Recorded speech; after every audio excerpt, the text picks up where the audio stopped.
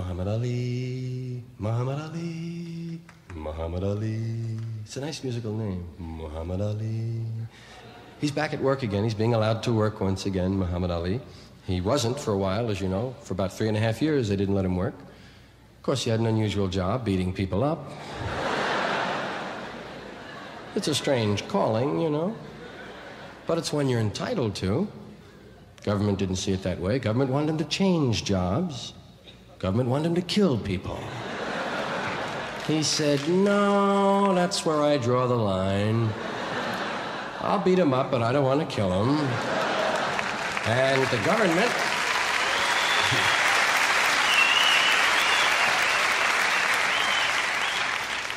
The government said, Well, if you won't kill him, we won't let you beat him up. Ah.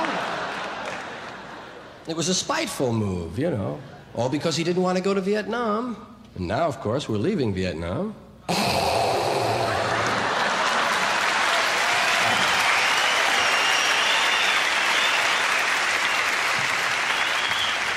We're leaving through Laos, Cambodia, and Thailand.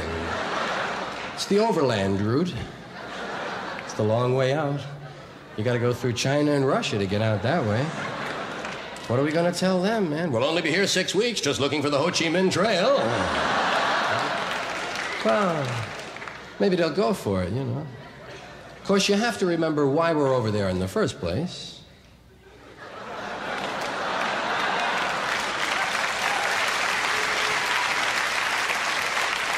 Oh, yeah.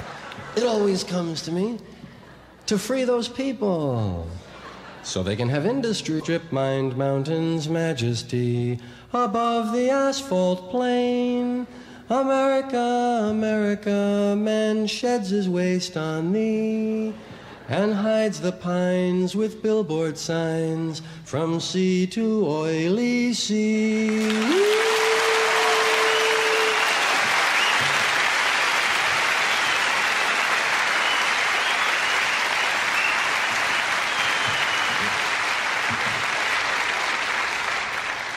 Then you have to remember the sexual side of Vietnam, which a lot of people don't notice. The Hearst newspapers notice it, of course. Yes, they're into sex on anything. I mean, you check the wishing well or the sewing patterns, and there's a little something in there. That's a... But they're always afraid of pulling out. That's their big problem, you know? Pull out doesn't sound manly to me, Bill.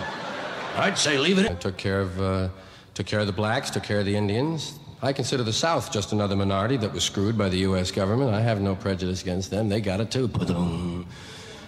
We really gave the Indians a fast trip across the continent. You notice that? They were having a little cookout in Massachusetts. Bunch of boats came up, man. Hey, you mind moving over, guys? Bring in the stuff. Would you move over? Would you mind bringing the stuff, man? Would you move over, man? Bring in the stuff. Come on, man. Move it over. Would you mind over three mountain ranges, four mountain ranges? Got them onto an offshore island, Alcatraz, right? Off the continent completely. They had to take the island to get it. Then we kicked them off there. I guess we're going to send them back where they came from. Yeah, we must. Yeah, we bought the Bering Strait theory, right? Put them welfare people to work filling in the Bering Strait and charge them Indians a buck a head to go home. It's a good, sound business solution.